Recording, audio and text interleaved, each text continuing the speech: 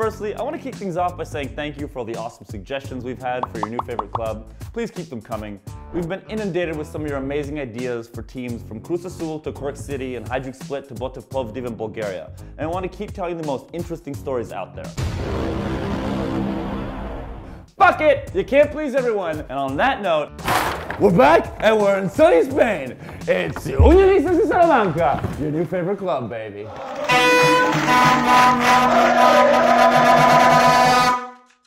In, my friends, for a story of a club collapse, a phoenix rising from the ashes, and an incredible cup run. Perhaps better known for its historic universities than football, the small city of Salamanca draws tourists from far and wide with its UNESCO World Heritage, Old Town, cathedrals, and Renaissance architecture.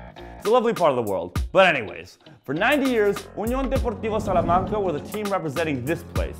They mostly kicked around the lower leagues, but spent a small chunk of their history in La Liga, recording their best ever finish in seventh in the top flight back in 1975. But in 2013, with debts of 23 million, the club went into administration and was liquidated. After a lot of back and forth with the authorities, the old club continued under various names after Mexican businessman Miguel Alejandro Miranda bought Unión Deportiva's home, the 17,000 Estadio Helmántico, and what remained of the club at auction. You at the back there, you keeping up?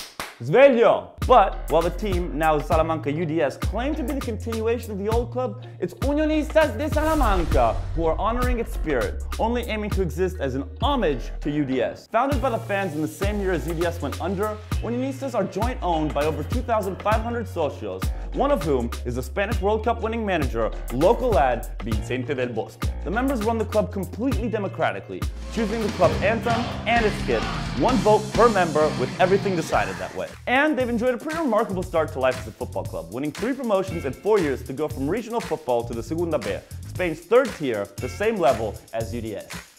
Okay, they've lost every time they've met them, so we don't need to dwell on that too much. But yeah, playing on a city-owned pitch in the shadow of the Helmántico, volunteers create their own ground every match day by decking the place out with Unionistas regalia before putting it all back again afterwards. And, remarkably, in an extremely unlikely scenario, this place just played host to Real Madrid. Once the Copa del Rey round of 32 was made, Unionistas had to fight tooth and nail for the right to play the match at their home, and even turned down 500,000 euros to play at the Bernabeu, Fucking huevos, Salamanca! So, how did they get on? Well, unfortunately, there wasn't the upset to end all upsets. But for a club that's only been playing for five years, they gave the 13-time European Cup winners Real a real scare. And they got the life-affirming moment that marked their arrival on the world stage and made all their hard work raising a club from the ground up worth it through a 57-minute equalizer that sent 4,000 fans wild. They were in it right till the death, when Real Madrid finally finished them off 3-1. But it hardly mattered. Oh, and they'd already beaten Deportivo La Coruña on penalties in the second round.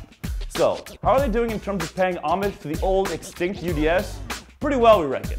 From the entire club joining Juan Mata's Common Goal Initiative to the fans singing the club's old anthem in the 23rd minute of every game to mark its foundation in 1923, there is a lot to like about their Futbol Popular philosophy, or fandom philosophy. And the 120,000 they've banked for their game against Real Madrid should give them the platform to keep pushing for years to come. So, vamos unionistas!